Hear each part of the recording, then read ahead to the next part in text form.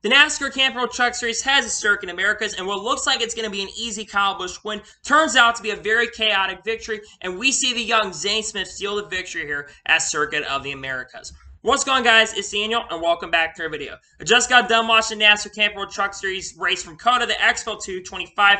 Got a lot of things to talk about this race. Let's go and just jump straight into it. So, before the green flag dropped into this race, a ton of trucks would have to go to the rear of the field, including Pole Sitter, Sheldon Creed, John Hunter Nemechek, Chris Wright, Kaz Matt Crafton, Logan Bearden, Lawless Alan, Jack Wood, Blaine Perkins, Tate Fogleman, Brad Perez, Will Rogers, Matt Jaskol, and Matt DiBenedetto would all go to the rear as well. So a ton of drivers have to go to the rear. And as they're actually starting before the green flag dropped, we saw Ty Majeski basically had to crew under pit roads. He had some issues on Ty Majeski's truck.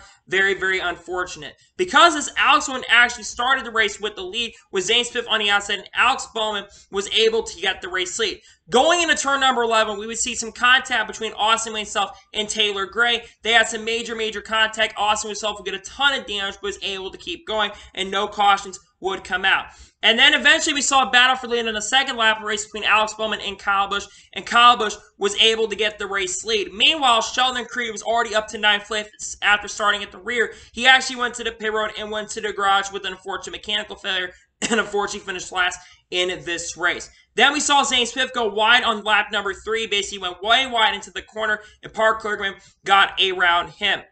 And then we see some more issues happen. Hailie Deegan, she would actually get penalized for a pass through for cutting the course when she was actually having a pretty strong run. She needed a good run coming in this race. She would get a penalty was able to keep going on. And then we would start seeing the pit stops happen with the stage cautions because the stage is happening stuff. Teams can break it up with road courses. Most of the leaders that come down for run on lap 9, including Kyle Busch, Alex Bowman, Carson Hocevar, and John Hunter Nemechek. And also then the next lap, we would see Parker Kligerman also come down pit road as well, with Zane Smith and Stewart Friesen battling for this stage win. But it would be not enough for Stewart Friesen to cash Zane Smith at the end, and Zane Smith will win stage 1 here at Circuit of the Americas. Then all the trucks that did not pit under the first caution, basically first stage, they would come down, but running Kyle Busch actually retook the race lead.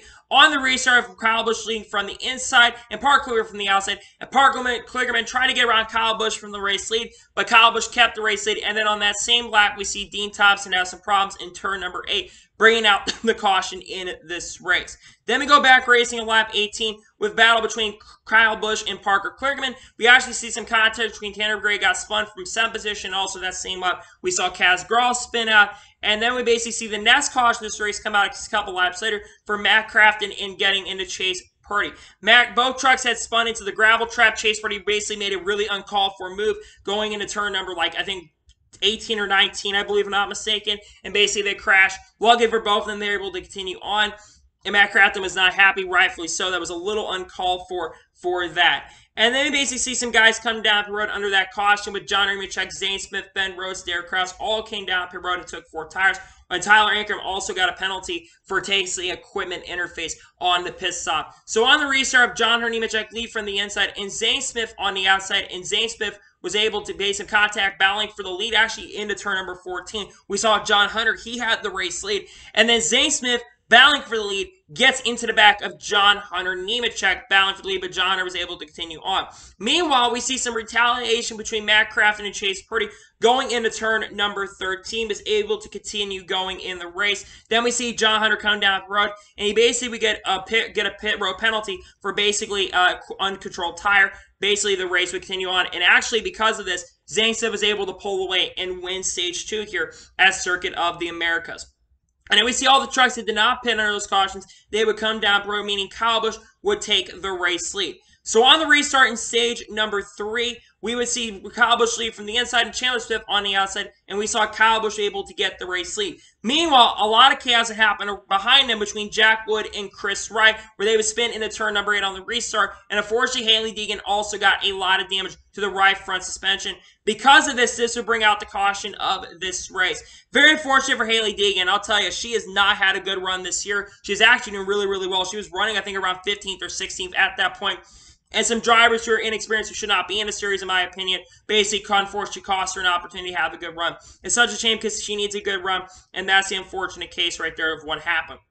And then we go back racing with 10 only 10 laps to go, with Kyle Busch leading from the inside and Chandler Smith on the outside. And we saw Kyle Busch get a great restart as Chandler Smith lost a ton of spots. Meanwhile, Carson Hocevar got a great restart and jump up to second.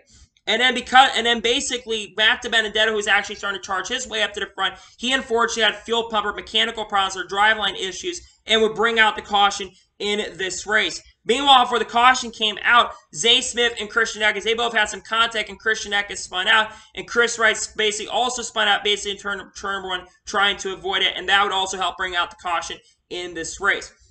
And then we go back racing with around eight laps to go with Busch leading from the inside and Carson Hocevar on the outside with Busch able to keep the race lead as Park Kligerman got under Chandler Smith for fourth and turn 11, pushed Chandler Smith a little bit wide, but is able to continue going on. And we saw a battle between Stewart Friesen and Kyle Busch, but Kyle Busch is able to pull away. Then a few laps later, we see Derek Kraus get spun into turn number one by Tyler Ankrum, but they're able to continue on. And then with four laps to go in the race, we would see the next caution this race come out for Matt Jaskol, who stalled off in turn number three. Also during that time, Christian Eckes got spun by Carson Hocevar, bringing out the caution of this race. Then we go into overtime in this race where Kyle Busch led on the inside and Alex Bowman on the outside. And we saw a lot of chaos and basically Chris Wright got spun on the restart. And then we saw a couple guys wreck in turn number three. Chase Purdy spun out. And then the caution would come out right here for a ton of basically parts and pieces coming onto the track with Kaz Grala and Colby Howard's basically spinning at each other, bringing out the caution for the final time in this race. And then we get into the second overtime, and this is where all hell breaks loose. On a restart, Kyle Busch gets an amazing restart, and Alex Bowman gets a little bit of a slow start on the restart, and Stewart Friesen is able to get around Kyle, around Alex Bowman for the race lead. They're battling back and forth for the lead a little, basically battling back and forth for the top three, and Alex Bowman decides to charge it going into turn number 10, going into that turn to head up the straightaway, and Alex Bowman and all of them go three wide and have contact with each other, and Zane Smith comes off the corner and steals the lead away from the top three.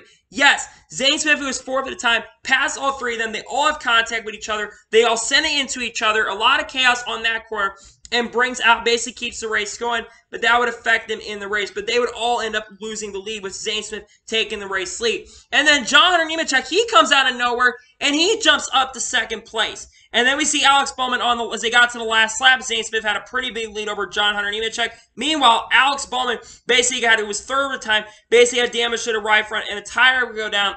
And Parker Kligerman also would have damage from that and ran out of gas as well on the last lap of this race. And because of this, Zane Smith would come off the corner and basically steal the win away from Kyle Busch and the rest of the field and picks up his second victory of the season. Zane Smith definitely got helped by a lot of those cautions and the fresh tires in this race.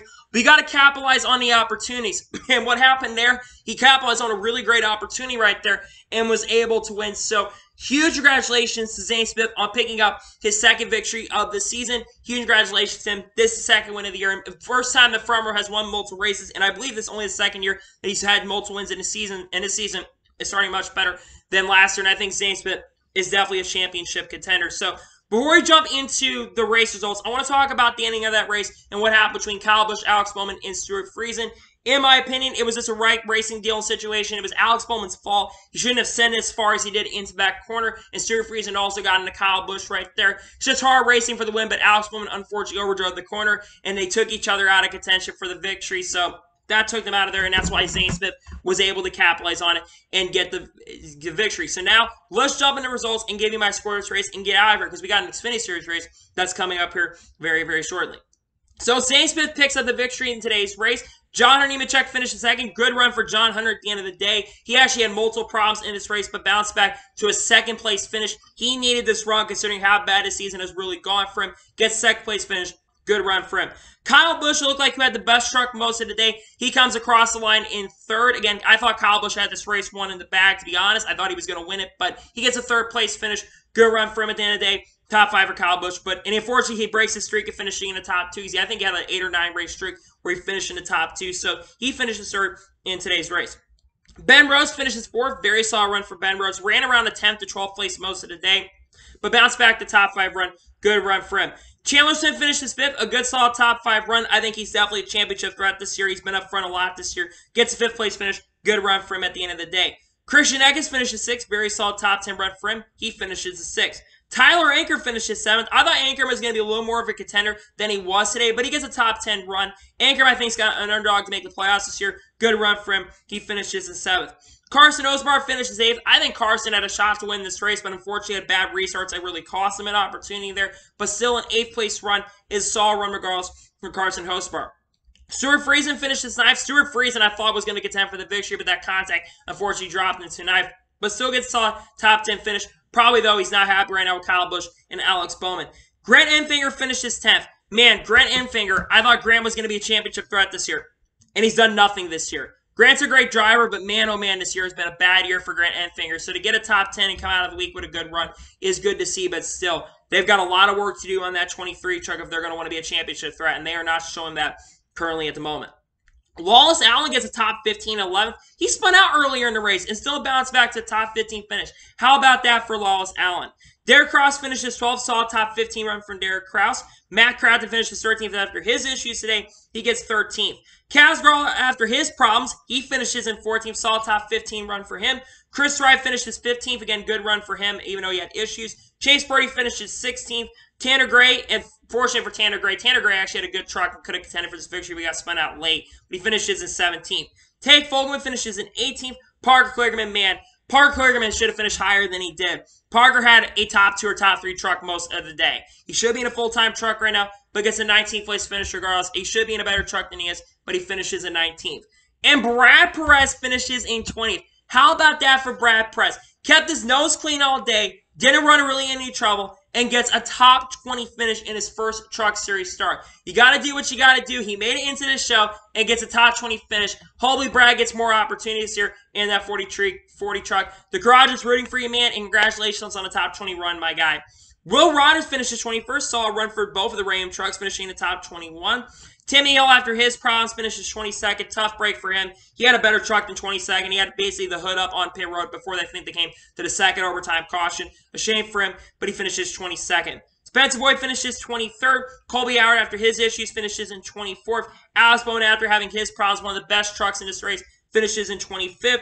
Taylor Gray finishes 26th. He had a good truck early, but that issue with Austin himself happened. Austin himself finished 27th. Austin himself was a wrecking ball at the end of that race. He was basically wrecking into people and acting like an idiot out there. I don't really know why he's out there, to be honest with you. Shouldn't be in the series anymore. He's been wrecking like an idiot. Logan Berry finishes in 28th. Dean Thompson finishes 29th. Ty Majeski, after electrical problems, never really mentioned Ty Majeski much in the race. Fox did, but he finishes in 30th. Matty D, after his electrical and issues and driveline problems, finishes 31st. Tough break for him. He was probably going to finish around top 10 or top 15 range. Shame for Matty D. He had a good truck today. It's a shame. Jack Wood finishes 32nd. Why he's in that truck, I really don't know. Matt Jasko finishes at 33rd, 34 for Hailie Deegan after her problems, 35th for Blaine Perkins, and Sheldon Creed finishes last and in 36th place. So now I'm going to give you my score of the race and talk about the race overall as a whole. Overall, the racing itself, when they were long green flag runs, it really wasn't the most exciting. You did have really good battles for the lead and some good points of this race for sure as well. It wasn't one of the worst Truck Series races I've ever seen, but it was a very, very chaotic race, to say at the least. And I think your, some of your scores are probably going to be much more different than mine. I'm going to give today's Truck Series race a 7 out of 10 just because it got a little bit over crazy. The finish was actually really, really good in my opinion. It was really good the last couple laps, but there were points the race were kind of dragged out. I do also think that there should not be as many cautions as they were. I think they need to start investing in local gallows. I think that's one thing that needs to be happening toward the future. But other than that, a 7 out of 10 is my score for the Truck Series race. It was an alright race in my opinion. Not perfect, but it was an alright race in my honest opinion. So, anyway, that's today's race review from the Truck Series race at Circuit of the Americas. I want to thank guys for watching. Please subscribe to the channel notifications be notified when a video does go live on my channel. Follow me Twitter, Facebook, and Instagram, and support me on page as well. Let's get over that and comment your thoughts on today's race. Let me know your score below. Let me know your thoughts below, and congratulate Zane Smith on picking up the victory. Let me know in the comments below. We've got the Xfinity Series races coming up here really, really soon, and you will see a race view from that on the channel right after that race concludes. I'll see you guys there for that. Take care, everybody.